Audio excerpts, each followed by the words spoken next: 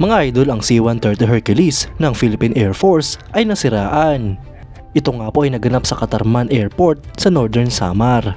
Yan ang pag-uusapan natin pero bago yan, kung bago ka lang sa aking channel, ay huwag mong kalimutang mag-like, subscribe at hit mo na rin ang notification bell button para lagi kang updated sa mga bagong videos natin.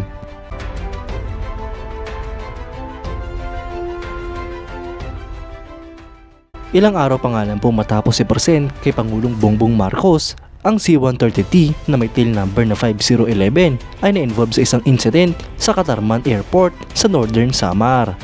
Base nga po sa mga litrato mga idol ay mukhang isang minor damage lamang ang nangyari sa eroplanong ito.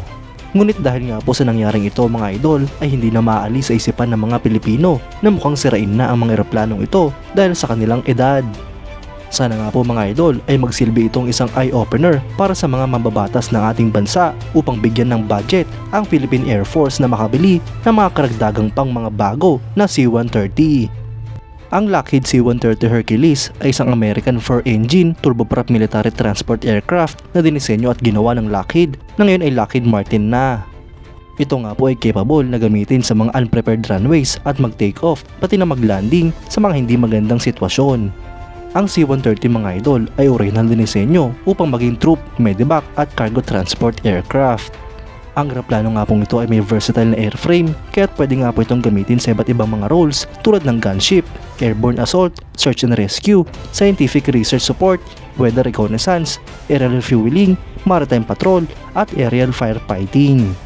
Sa kasalukuyan mga idol, ang eroplanong ito ay ginagamit bilang main tactical airlifter ng iba't ibang military forces sa buong mundo. Meron nga pong mahigit sa 40 variants ang mga C-130 Hercules kabilang na ang civilian version nito na minamarket bilang Lockheed L-100. Ang mga eroplano nga pong ito ay ina-operate ng mahigit sa 60 na mga bansa.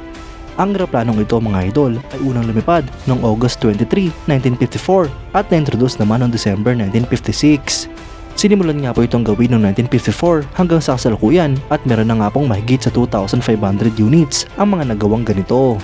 Ang ilan nga po sa mga current operators nito ay ang Afghanistan, Argentina, Australia, Bangladesh, Botswana, Brazil, Canada, Chad, Chile, Taiwan, Colombia, Denmark, Ecuador, France, Germany, Greece, Honduras, India, Indonesia, Iran, Iraq, Israel, Italy, Japan, Jordan, Libya, Malaysia, Mexico, Netherlands, New Zealand, Norway, Pakistan, Peru, Pilipinas, Poland, Portugal, Romania, Saudi Arabia, Singapore, South Korea, Sweden, Thailand, Turkey, United Arab Emirates, United Kingdom, United States, Venezuela at Zambia.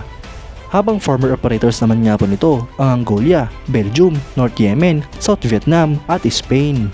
Ang C-130 mga idol ay pinapalipad ng limang crew, dalawang piloto, isang navigator, isang flight engineer at isang load master. May capacity nga po ang eroplanong ito hanggang sa 19,000 kilograms.